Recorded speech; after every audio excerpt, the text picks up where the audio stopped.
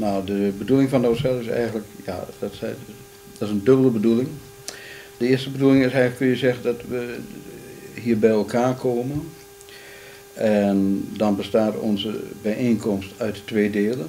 Dat is het eerste, dat, is, dat gaan we naar de zittingsruimte.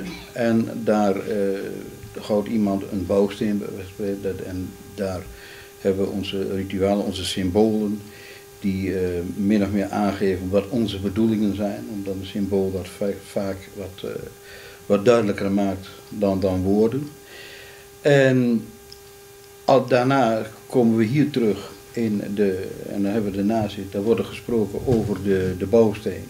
Als je even teruggaat in de historie, dat zijn dus eh, dat zijn groepen mensen die zich vroeger eigenlijk niet konden aansluiten bij gilden. En die bijvoorbeeld in, vooral in Londen in cafés bij elkaar kwamen en de- je helpt de zieken.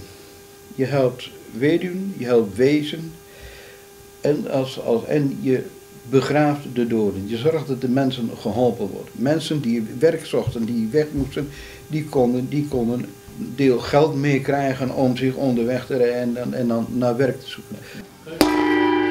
Wat wel vrienden, we zullen vanavond een zitting houden, een open zitting houden. Je kunt nu allen de zittingruimte betreden. Wat mij in het begin opviel was eh, de vriendschap die ik, eh, hè, die ik ondervond, zal ik maar zeggen. En eh, ik voelde me altijd zeer welkom hier. Ja, Wat heeft het u tot nu toe gebracht? nou dat ik wat eh, contacten heb natuurlijk. Dat ik wat ehm, bouwstenen aangereikt heb, heb gekregen om te denken over de zin van het leven. En om een beetje mijn weg te vinden in de, deze wereld eh, waarin allerlei stemmen opgaan. En het komt bijvoorbeeld zelden voor dat iemand die iets zegt onderbroken wordt. Er wordt zeer aandachtig naar hem geluisterd. Daar wordt ook ingegaan op wat hij zegt.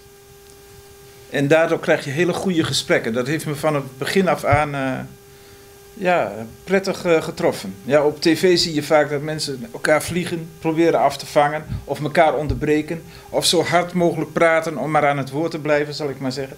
Dat is hier helemaal niet zo. Eh, Kijk, iedereen kan zijn mening daar geven in de bouwsteen. Daar hebben we dan een gesprek over in de, in, in nazit.